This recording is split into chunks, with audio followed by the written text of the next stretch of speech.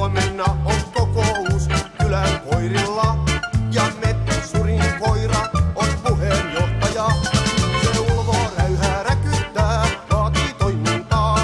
Koirat haukkuu tahtissa ja kaikki kannattaa. Hei Meppi Surin koira, sen älyt